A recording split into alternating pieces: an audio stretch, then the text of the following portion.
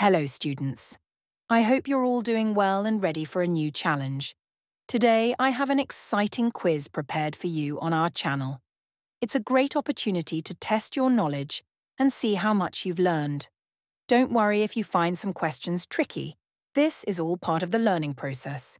Head over to the channel, give it your best shot, and let's see how you do. Good luck and have fun. What is this called? What is the name of organism? What is this called? What is the name of organism?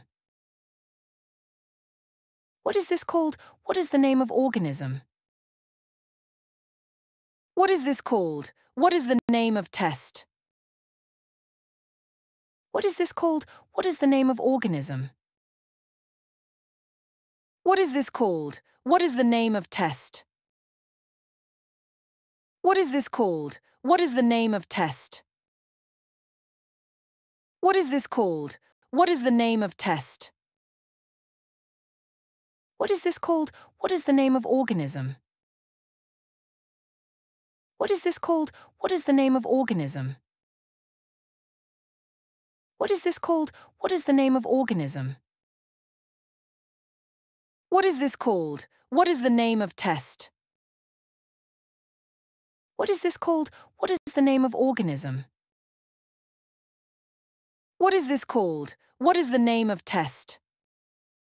What is this called? What is the name of organism? What is the name of medium? Dear students, I wanted to take a moment to express my sincere gratitude to all of you for participating in the quiz. Your enthusiasm, dedication, and hard work are truly commendable. Each one of you showed a willingness to challenge yourself and a commitment to your learning, which is something to be very proud of. Quizzes are not just about testing your knowledge. They are opportunities to learn more about the subjects we explore together, to identify areas where we can grow, and to celebrate our successes. I'm incredibly proud of your efforts, whether you found the questions easy or difficult. Your determination to engage with the material and to do your best is what matters most. Thank you for making the time to take the quiz and for contributing to our learning community.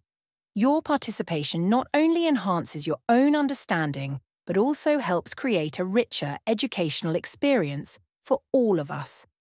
Keep up the great work, and remember that every step you take in your educational journey is a step towards greater knowledge and understanding. With appreciation, Professor Haneya